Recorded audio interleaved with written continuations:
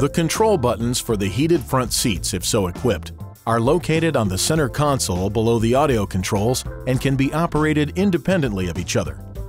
To operate the heated front seats, start the engine and then press the driver's or passenger side heated seat button.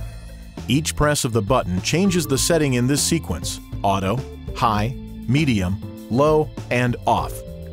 The setting for the corresponding seat is displayed on the driver's or passenger side of the upper touchscreen display. The auto setting controls the heated seat based on the surrounding temperature. When the control is set to any setting other than off, the indicator light on the button will illuminate.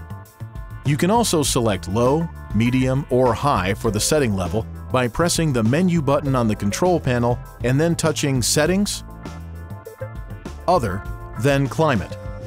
Select the seat you wish to set and then choose the level.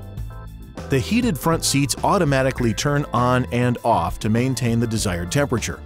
The indicator light will remain on as long as the switch is on. Be sure to turn the switch off when the seat is warmed or before you leave the vehicle.